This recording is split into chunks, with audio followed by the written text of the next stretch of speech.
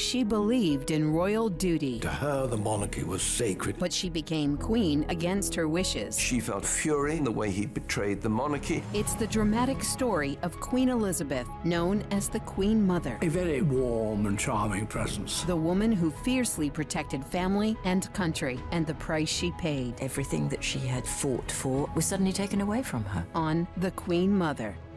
Monday at 10 on KCTS 9.